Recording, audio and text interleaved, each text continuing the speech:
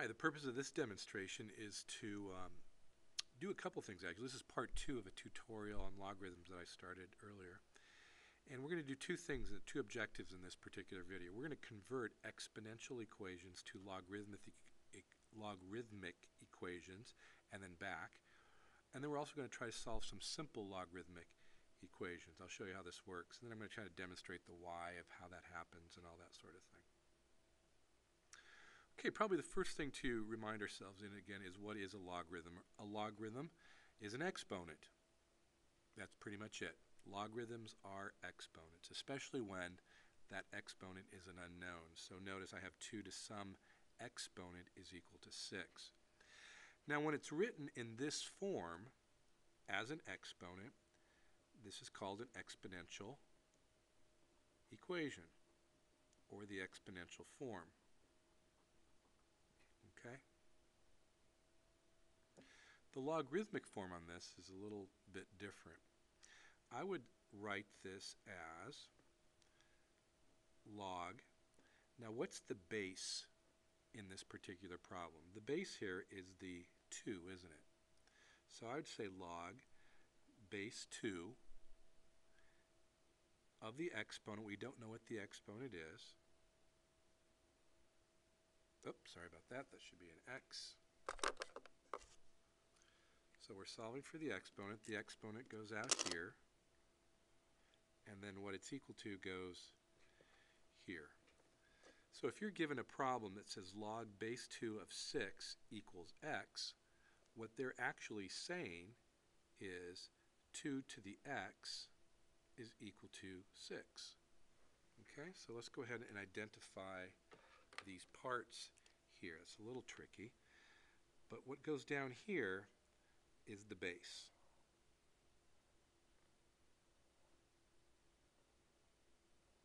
Okay, so those are interchangeable. What goes up here are the exponent, and that goes there.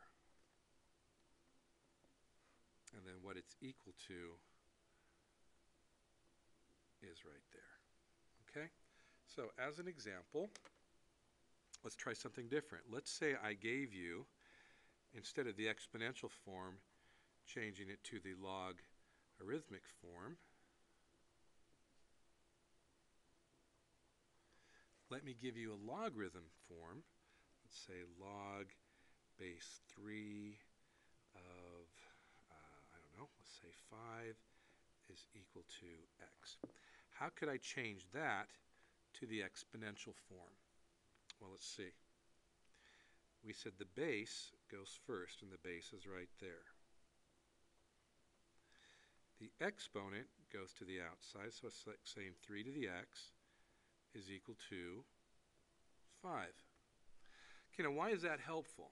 Well, it's actually for, helpful for a number of reasons, because it gives us an idea of pretty much what our x will be equal to. Let me show you something over on the side here.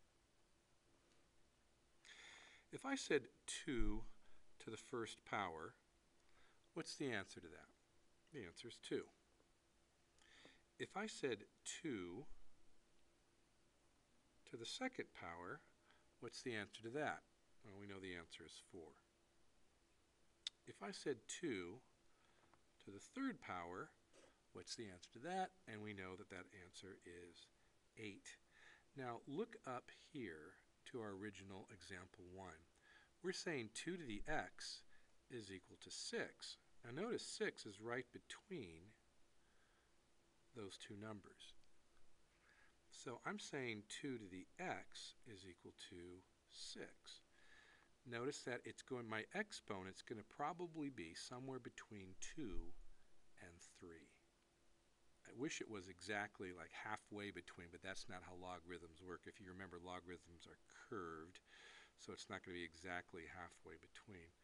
But we have to figure out how to figure out how to get that to work, okay? And there's actually a way of doing that.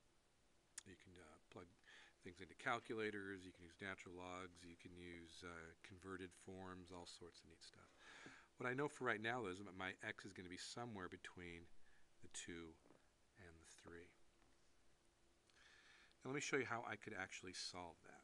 So let's take our problem again, example 1, and say 2 to the x is equal to 6.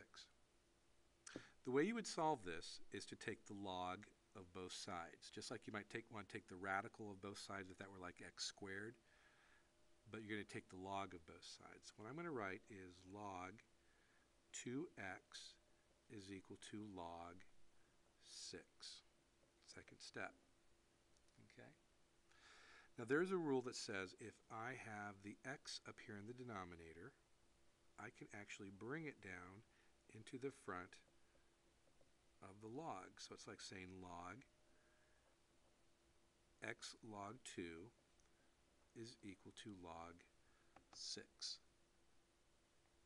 Keep going. That's going to be like saying x, and let's divide both sides by log 2. x is equal to log 6 divided by log 2. Now why did I do that? What is this going to be? Actually, I'm going to put this into my calculator and I'm going to figure out what log 6 is and then just divide it by log 2. Log 6 is actually equal to 0.778.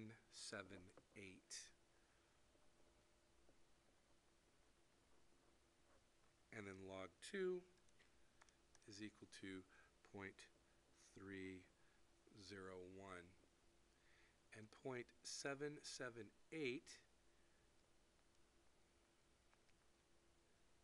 divided by 0.301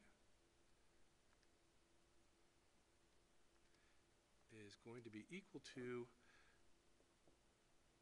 2.585. A lot of teachers like to go out to three places past the decimal point, and I am one of those as well. So let's see what we have here. And let's see if it makes sense in the context of what we said earlier. We're saying that 2 to the x is equal to 6. That x is 2.585. Let's go back up here to our little demonstration. 2 to the 2.585 is somewhere between 2 and 3. And notice that that's going to give me 6. So it actually looks like it might be a correct answer. So I hope that helped. Um, this is just as a quick as a quick review.